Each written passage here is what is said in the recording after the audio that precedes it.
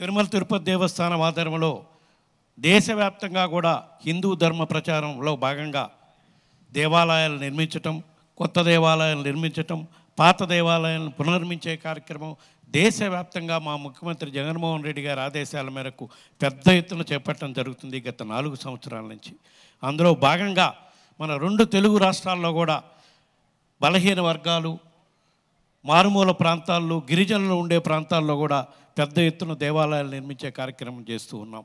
అందులో భాగంగా ఈ మధ్యకాలంలోనే తెలంగాణ ము- గౌరవ ముఖ్యమంత్రి గారు కల్వకుట్ల చంద్రశేఖరరావు గారు కోరిక మేరకు కరీంనగర్ పట్టణంలో ఇరవై కోట్ల రూపాయలతో వెంకటేశ్వర స్వామి ఆలయం నిర్మించాలని మా గౌరవ ముఖ్యమంత్రి జగన్మోహన్ రెడ్డి గారి ఆదేశాల మేరకు మొన్ననే పది రోజుల కిందటే అక్కడ ఫౌండేషన్ స్టోన్ కూడా వేసుకొని ఆలయ పనులు కూడా ప్రారంభించుకోవడం జరుగుతుంది. అదేవిధంగా సోదరుడు తారక రామారావు అభ్యర్థన మేరకు ఈ సిరిసిల్ల పట్టణంలో ఉన్న లక్ష్మీ వెంకటేశ్వర స్వామి ఆలయం పునర్నిర్మాణం కోసం సుమారుగా రెండు కోట్ల రూపాయల నిధులతో ఈరోజు శంకుస్థాపన చేసుకొని పనులు ప్రారంభించుకోవడం జరిగింది. అదేవిధంగా ఈ వేణుగోపాల స్వామి ఆలయం పునర్నిర్మాణానికి కూడా సుమారుగా రెండు కోట్ల రూపాయల నిధులు ఇవ్వటం జరిగింది.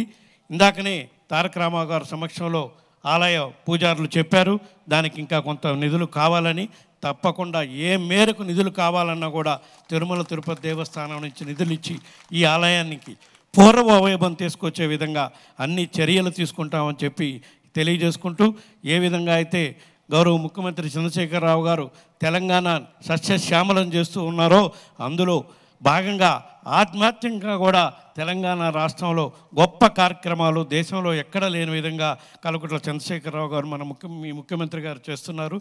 దానికి గొప్ప ఉదాహరణగా యాదాద్రిలో నిర్మించిన ఆలయమే గొప్ప ఆలయంలో తిరుమల తిరుపతి దేవస్థానం.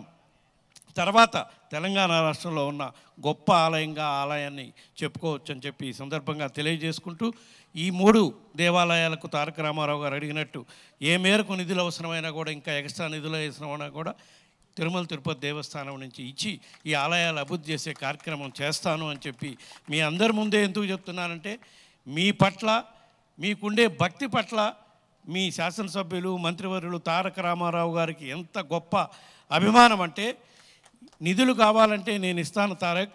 అభివృద్ధి కార్యక్రమాలు పునర్నిర్మాణ కార్యక్రమాలు నువ్వే ప్రారంభించుకో నువ్వు మంత్రివి కదా అంటే లేదన్నా నిధులు కాదన్నా నువ్వు వచ్చి నీ చేతులతో చేస్తే తిరుమల తిరుపతి దేవస్థానం నుంచి ప్రతినిధి వచ్చి చేసినట్టు మా నియోజకవర్గ ప్రజలు భావిస్తారన్నా మా సిరిసిల్ల సిరిసిల్ల జిల్లా ప్రజలందరూ భావిస్తారన్న అని అడగడంతో ఈరోజు ఇక్కడికి రావడం జరిగింది. ఈ సందర్భంగా మేము అందరినీ కలుసుకున్నందుకు కూడా చాలా సంతోషంగా ఉందని చెప్పి తెలియజేసుకుంటూ రాబోయే రోజుల్లో కూడా రెండు రాష్ట్రాల్లో రెండు తెలుగు రాష్ట్రాల్లో మనం విడిపోయిన సోదరులాగానే ఉందాం.